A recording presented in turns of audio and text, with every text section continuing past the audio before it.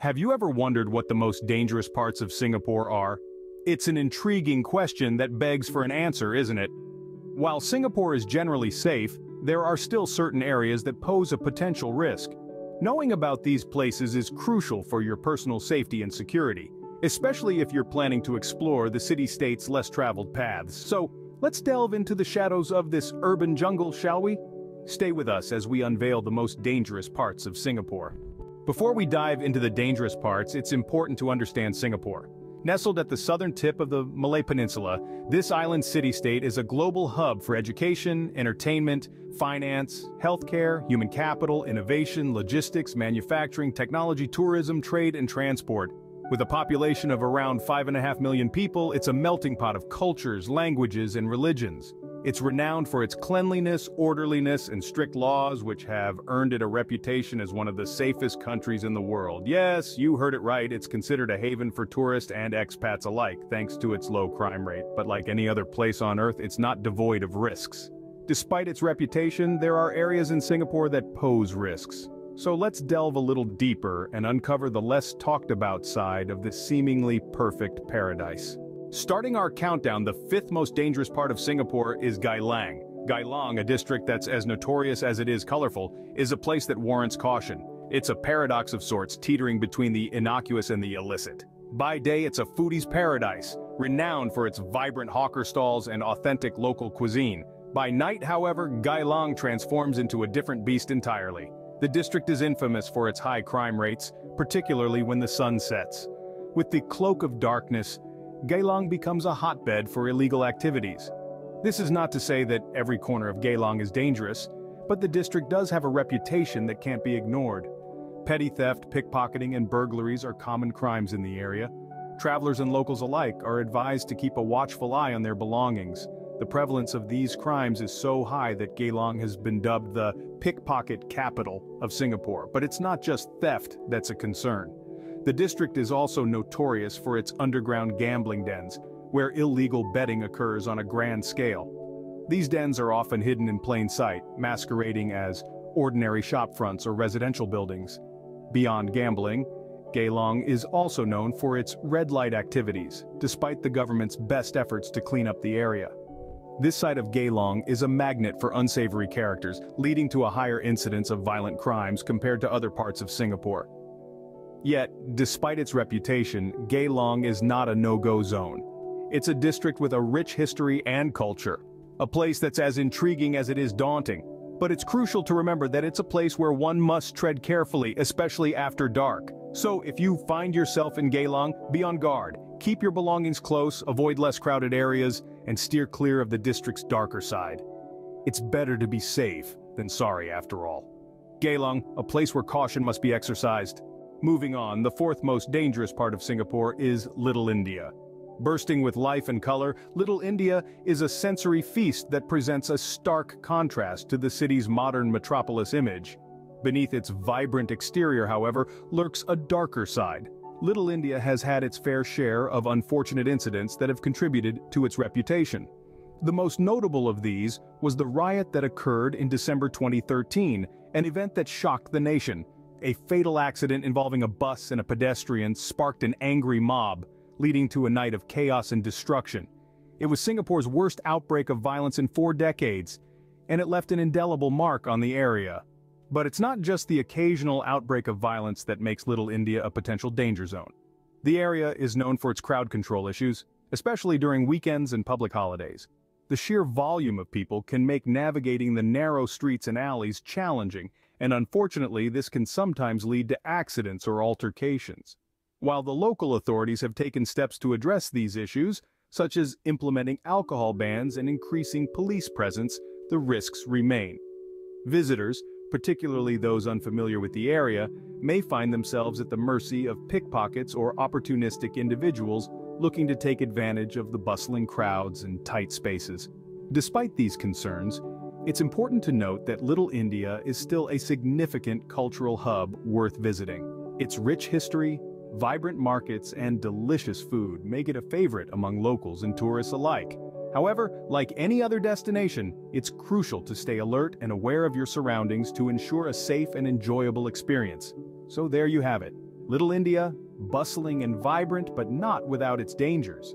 Next on our list, the notorious red light districts. Nestled among high-rises and hawker centers, these districts are a stark contrast to the pristine image of Singapore. They are a hodgepodge of neon lights, loud music, and an underbelly of activities that often skirt the edge of legality. Now, the red light districts are not inherently dangerous. They are, after all, just another facet of the city's diverse urban landscape. However, the potential for danger does lurk in the shadows. Predatory behavior is not uncommon as opportunists seek to exploit the unwary or inebriated. Furthermore, these districts are rife with illegal activities. From illicit trade to unlicensed businesses, the law is often stretched thin here, making it a risky place for visitors. Safety is not always guaranteed, especially for those unfamiliar with the local customs and rules. It's also worth noting that these areas can be a sensory overload for the unprepared. The flashing lights, the cacophony of sounds, and the sheer volume of people can be disorienting. This in turn can make one an easy target for those with less than noble intentions. Visiting the red light districts can be an eye-opening experience, offering a glimpse into a side of Singapore that's seldom seen, but it's crucial to remain vigilant and aware of the potential dangers. After all, these districts are not just about the glitz and glamour, they also have a darker side that's often hidden from plain sight. The red light district's a hotbed for potential danger. Coming in at number 2, Orchard Towers. A monolith of Singapore's nightlife, this place is shrouded in controversy and intrigue. Now, the name Orchard Towers might evoke images of a serene orchard or a luxurious tower, but the reality is far from it. Known colloquially as the Four Floors of Whores, Orchard Towers is not for the faint-hearted. As the sun sets, the place transforms into a bustling hive of seedy bars and clubs, making it a haven for unsavory characters. This area is no stranger to crime, with reports of fights, scams, and even cases of murder tainting its reputation. Visitors, especially those unfamiliar with the area, could find themselves in unfavorable situations.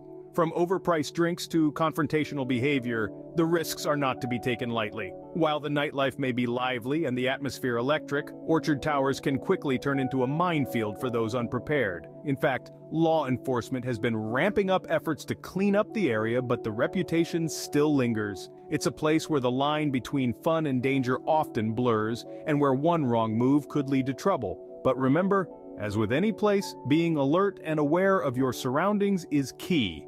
In Orchard Towers, this is especially true. It's a place where the night can offer thrills and chills in equal measure where prudence should be your closest friend. Orchard Towers, a place that demands vigilance. And finally, the most dangerous part of Singapore, the suburban ghettos. In contrast to the clean manicured image that Singapore typically presents to the world, the suburban ghettos paint a starkly different picture.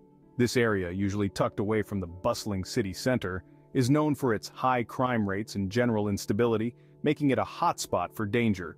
One of the main issues that plague these neighborhoods is drug-related crimes.